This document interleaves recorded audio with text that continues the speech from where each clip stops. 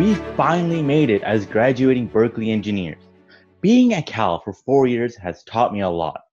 For one, who knew that linear regression can be classified as machine learning? Also, student organizations play a major role in student life. And most importantly, sliver pizza with corn is way better than sliver pizza with potato. And each semester also has its own little quirks. Remember, four years ago, we held a vigil for a gorilla. And there's also been a lot of ups and downs. But we've come out of it stronger. From burning the candle on both ends to finish a project, to writing code that would make Bill Joy cry, to election protests, wildfires, and now a global pandemic, we've seen a lot while still learning to be engineers. But there are also a lot of good things that have happened these past four years. There's always those lovable puppies auditing our classes in Pimentel Hall. There's those problem set parties that we're having at Kresge Library, turning it up at 11 p.m. And there's those llamas strolling around Memorial Glade, letting us touch them. And through all this, we built new friendships and created a community that's uniquely Berkeley engineering. And recently, hundreds of us gathered in our finest wear for an ultimate challenge during Engineers Ball to defend the reputation of our majors through a game of Mario Kart. Yes, Mario Kart. And but truly, we're not just engineers, we're Berkeley engineers. We innovate and create a world that never existed. We give back whether mentoring high school students or working at a food bank. And we don't do it alone. We do it together as a community of Berkeley engineers and with that community at large. Even with the stay at home orders and the lack of physical interaction, we've adapted and shown that Berkeley engineering isn't confined to Soda Hall or Jacobs Hall.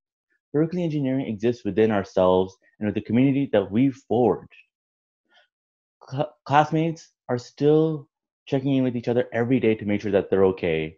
Clubs are hosting game nights and movie nights to encourage socializing. And GSIs are still hosting office hours while juggling their own coursework and research. And professors are still creating lecture slides while tutoring their own children.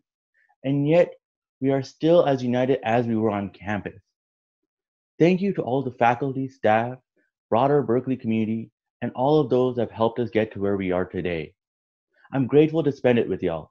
Thank you for the memories and go Bears! I'm honored to be speaking at the celebration of 2020 graduates. Although we didn't envision our graduation looking like this, I'm grateful that we're still able to connect today to celebrate our achievements. I hope all of you and your loved ones are safe and healthy right now.